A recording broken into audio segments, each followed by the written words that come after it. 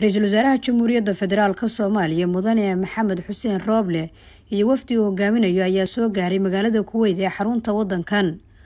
oo uu kaga qeyb galayo tacsida amiirkii geeriyooday ee wadankan marxuum sheekh sabaax al axmed al sabaax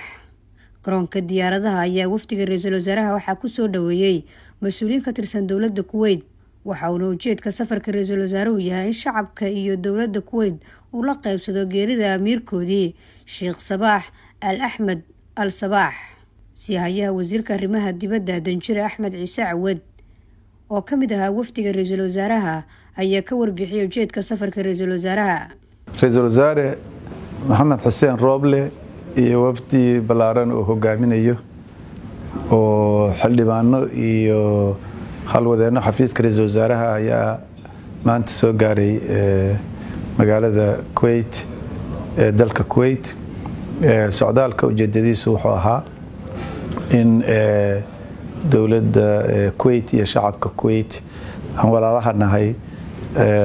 loo soo gudbiyo oo la soo gaarsiiyo tacasida ummadda iyo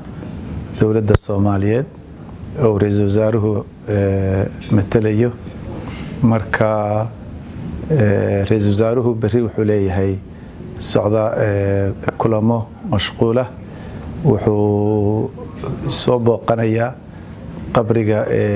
amiirkii dhintay allaha u naxariistee. Kabacdina wuxuu tacsi u geynayaa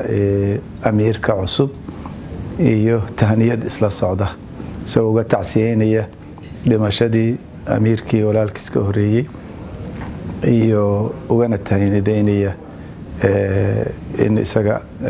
uu noqday amiirka dalka ra'iisul wasaaruhu wuxuu u gudbinayaa